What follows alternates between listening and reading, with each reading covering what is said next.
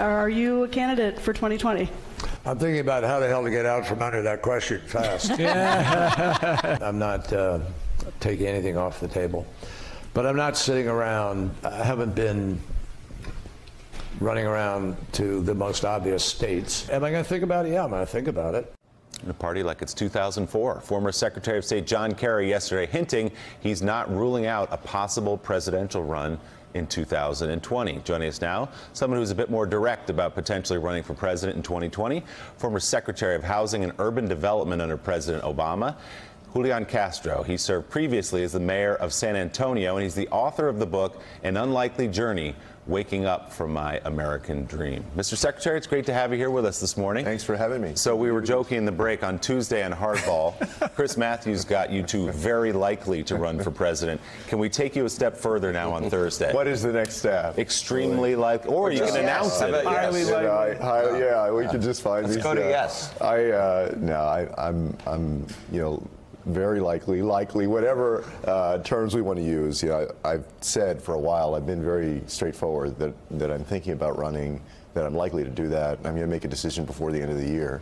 And um, as you and I were talking a little bit ago, uh, off camera, you know, the season is almost upon us, right? And so it's no secret. People see out there that you're probably going to have a whole bunch of folks who are running in 2020.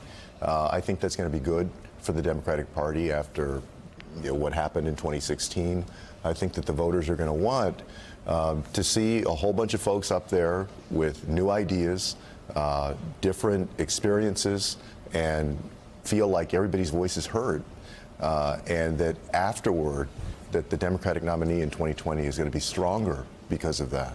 So, what do you bring to the table that a lot of these familiar faces who've run before perhaps do not? You know, we see John Kerry saying he might want to get it, maybe Joe Biden, we'll see Bernie Sanders, some other folks like that. It will be a big field, there's no question about it. How do you rise to the top of that field? Well, you know, if, if I run, it'll be because I have a strong vision for the future of this country.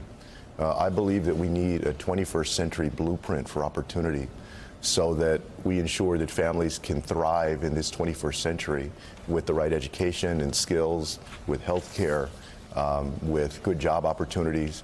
And uh, I have shown that I can get things done at the local level and at the federal level. And so everybody is going to bring their own experience and their own talent and their own voice. Uh, but uh, if I get into the race, I look forward to going and making the case. There's, right? there's an argument out there that if you're running against Donald Trump, you've got to be combative. You've got to fight with him.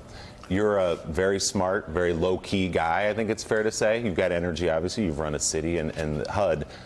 Would you be up for a fight with Donald Trump? Yeah, you know, I and I've said this to folks. I don't think that we're going to beat Donald Trump by trying to be Donald Trump. Uh, I think that you're going to uh, win in 2020 or against Donald Trump, especially who tries to drag everybody down by connecting with the American people and keeping the focus on what you're going to do for them. That doesn't mean that you don't stand up. Of course, you have to stand up for yourself and stand up to Trump. But I think what we can't lose sight of is that people want somebody to vote for. They want something to believe in. And so it's the candidate that offers a compelling, positive, and strong vision for the future of the country that resonates with the voter and his or her family that I think is going to win. And, you know, I mean, in 2020, it's not going to be 2016. People know a lot more about what Donald Trump is all about, right? And he has a record. And, uh, and I think that the contrast there uh, is the positive and the plan versus the negative and going backward. We saw some of that success in the midterms, people running on the issues and not against Donald Trump. Uh, Susan Page is in Washington with a question for you. Susan? I, I do have a question. You know, there are two ways to remove uh, Donald Trump from the Oval Office. One is to defeat him in 2020. The other is to impeach him.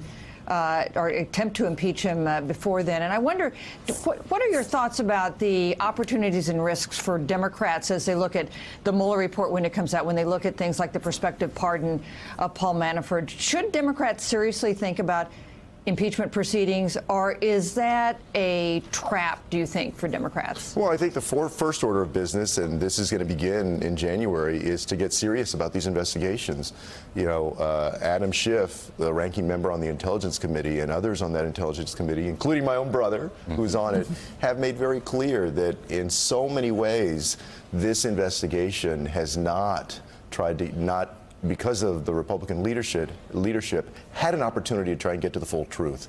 And whether it's that issue or a number of other issues, Donald Trump's finances, and you know, maybe more to the point, some of the missteps of this administration on policy and, and on procedure, they need to have full and robust investigations. And then, uh, you know, where those investigations lead, uh, I think is a separate question, but they need to get those investigations going. All right, Julian Castro, thanks so much for being here. Maybe next week you'll come back and just nail it down for us. We're going to take this. But just get closer and closer. Yeah, each exactly. time. Just baby You can say here. it right now if you want to. Yeah. You We- can say Last it. That's okay. I'll probably, if I do it, I'll do it in Texas, in my home state. So. Mr. Secretary, thank you very much. Again, the book is An Unlikely Journey. We'll see you again soon. Thank you. Thank you. Coming up on Morning Joe, Nancy Pelosi has moved one step closer to becoming House Speaker. She's still facing opposition, though, from within her own party. But our next guest says rookies need not apply. Chicago Mayor Rahm Emanuel joins us next on Morning Joe. Thanks for checking out MSNBC on YouTube and make sure you subscribe to stay up to date on the day's biggest stories. And you can click on any of the videos around us to watch more from Morning Joe and MSNBC. Thanks so much for watching.